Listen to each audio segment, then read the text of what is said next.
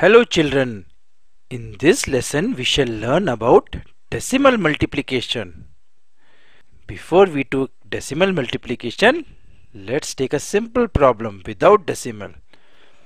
Let's say there are four baskets and each basket has five hens in it. One, two, three, four baskets and each basket has one, two, three, four, five hens in it. And we need to find out how many total hens are there. What do we do? As we saw in our last lesson, we do multiplication. Four baskets multiplied by five hens in each basket is equal to 20 hens so we do multiplication here right? The simple multiplication without decimal point right? That's the use of multiplication. If somebody wrote 4 multiplied by 0.5 what does that mean? Hmm is it same as 4 times 5 no 4 multiplied by 0.5 is not same as 4 times 5 then what it is Let's try to find out. What is 0.5? 0.5. 0.5 is 5 by 10 or 5 parts out of 10 parts. So 4 multiplied 0.5 is nothing but 4 multiplied by 5 by 10 or we can say it's 5 by 10 parts of 4. Understood? 0.5 is equal to 5 by 10 so 4 multiplied by 0.5 is nothing but 4 multiplied by 5 by 10 that is equal to 5 by 10 parts of 4 got it? So decimal multiplication is nothing but it's a simple way to find fraction part of a collection. 5 by 10 parts of 4 like that example. So let's see how we want to do this multiplication. Let's take an example. You had a 300 milliliter of a cold drink bottle. And your friend, a good friend gave you half bottle of cold drink more. So you had 300 milliliter of cold drink bottle and your friend gave you half bottle of cold drink more, half bottle. Okay. And you need to find out how much cold drink do you have now? How many milliliter of cold drink now you have? A 300 milliliter bottle as well as half of the 300 milliliter bottle. So how do we do it? A full thing is denoted by 1 so a full bottle is 1 make sense? And how do we denote half bottle? Let's try to find out. We know decimal fractions have 10 100 1000 as denominator right? So when a full object is divided into tens or hundreds or thousands when expressing its fraction we use the decimal. Something like this 5 by 10th 5 by 10 is nothing but 10th part right? So this is 1 by 10 is 10th part. 5 by 10 is 5 parts of 1 by 10th each 6 by 100 is this is hundredth. One by hundredth part and you are taking six such parts. 24 by thousand really means is if something is divided into thousand parts each you're taking 24 such small small parts. This is thousandth. Make sense? So now let's come back to our bottle. Let's say we divide this bottle into tenths so half bottle is nothing but 5 by 10 parts. How did I arrive with this? 5 by 10 is nothing but same as half right? 5 divided by 10 is 1 by 2 so half bottle is nothing but 5 by 10 parts. Or if the bottle is divided into tenths you're taking 5 parts of it. Suppose this is divided into 10 parts 1 part, 2 part, 3 part, 4 part, 5 part, 6 part, 7 part, 8 part, 9 part, 10 part. You're dividing into 10 parts. So half bottle is taking 5 by 10 parts. This is one half. This is another half. Makes sense? So if we half bottle of cold drink is nothing but 300 milliliter multiplied by 5 by 10 or 300 milliliter multiplied by 0.5 make sense? So now coming back to our original problem. You had a full bottle that is 300 milliliter and you got half bottle more that is 0.5 bottle more. So now you have 1 plus 0.5 so you have 1.5 bottles. And if we need to find out how much total milliliter you have how we are going to do it one bottle has 300 milliliter so 1.5 bottle has how many milliliters? So we are going to do multiplication. 300 multiplied by 1.5 remember what we did? We had one bottle and a half bottle.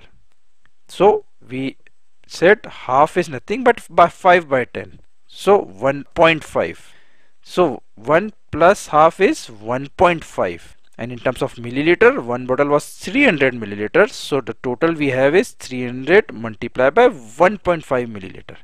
Let's try to find out. And this is what is decimal multiplication.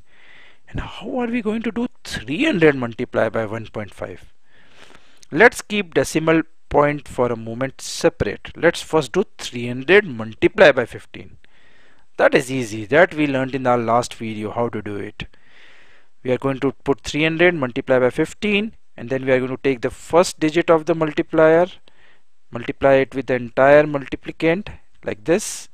Then we put a cross sign on the first byte and then we take the second digit of multiplier and then again multiply with the multiplicand. Then we add everything. So we get 4500 or 4500 here. So when we did 300 multiplied by 15 that is without using the decimal point we got the product as 4500 and now comes the question where should we put the decimal point? So remember very simple thing. Number of decimal places in the result will be sum of number of decimal places in multiplicand. In this case it was 300 and 300 didn't have any decimal places so 0 plus number of decimal places in multiplier and we knew the multiplier was 1.5 how many decimal places are there in this after decimal there is one digit so there is one decimal place right so 0 plus 1. So finally you have number of decimal places in the result will be 1. So our answer was 4500. It should actually be we are going to put a decimal point before one digit from the right. Because number of decimal places in multiplicand plus number of place decimal places in multiplier is equal to 1 so when we did a multiplication without decimal point we got 4500 but actual answer should be 450.0 and where why did we place point here not here or not here or not here? Because we know we need the number of decimal places in result by this formula which is how many decimal places you have it in multiplicand add it with the number of decimal places in multiplier 300 no decimal places 1.5 one decimal place 1.5 right? After decimal place you have one digit. So total number of decimal places in the result will be 1 0 plus 1 is 1 so start from right and you move one place and you put the decimal point. So your answer is you have 450 milliliter of cold drink now with you. 4500 we got the product as multiplying 300 by 15 without the decimal point and then we put the decimal point one digit from the right. So the answer is 450 milliliter. Simple to reiterate where to put the decimal point the number of decimal places in the result will be number of decimal places in multiplicand plus number of decimal places in multiplier. Let's take another problem. Let's say Aman required 4 meters of fabric few years ago to make his pants. But now Aman has grown taller. He requires 1.25 times more fabric. So how much fabric is going to require? We are going to do multiplication to find it. 4 meters was previous fabric requirement and now he requires 1.25 times of 4 meters so let's do the multiplication so the length of fabric now is 4 meter multiplied by 1.25. so let's do it we are going to follow the same rule. Assume there is no decimal point and we are going to do instead of 1.25 we are going to do a 125 and multiply by 4 that's simple. 4 5 is 20 let's do the simple thing and finally the answer is 500 right? I'm assuming you can do 125 multiply by 4 so what we did in step 1 is instead of 1.25 we did a multiplication without the decimal point and now we know how many decimal places will be there in the result. We add the decimal places in the multiplier and the multiplicand. We know 1.25 has two decimal places. There are two digits after the decimal point 1.25 right? So 2 and 4 had no uh, decimal place. So 2 plus 0 is equal to 2 so the number of decimal places in the result is or in the product is 2 so what we are going to do we are going to add two decimal places. That is there should be two digits after the point. So the product we got by multiplying 125 by 4 is 500 so we are going to place a decimal point where? Should we place it here here or here?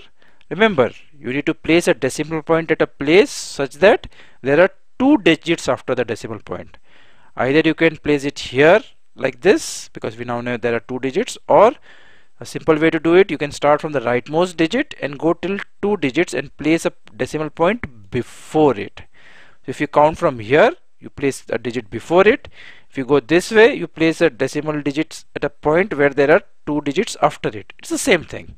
So 500 became 5.00 two digits should be there after the decimal point so 4 multiplied by 1.25 is equal to 5.00 Makes sense? So Aman now needs 5 meter of fabric for his pants. Now Aman has grown taller.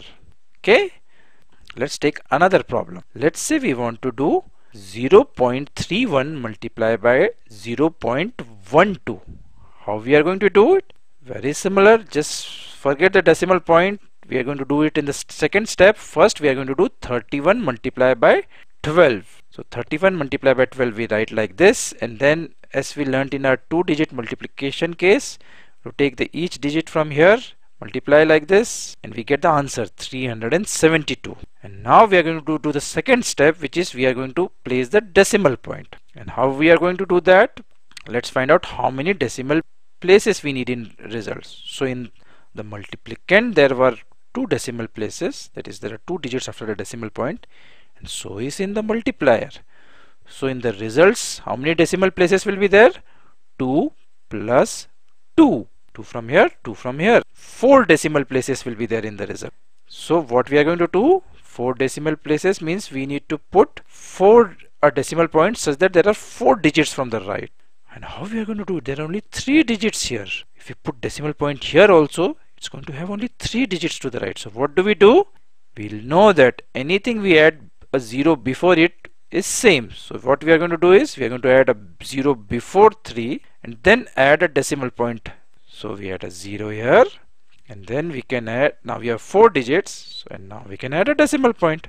Because there were 2 plus 2 4 digits we need after the decimal point in the result but with the result we got only 3 digits. So we add a 0 before 3 not after it. Before 3 and then we put a place a decimal point such that there are 1 2 3 4 digits here. Right? So the answer is point or you can say 0 0.0372 0.31 multiplied by 0.12 is 0.0372 right? So that is all for today children. Bye bye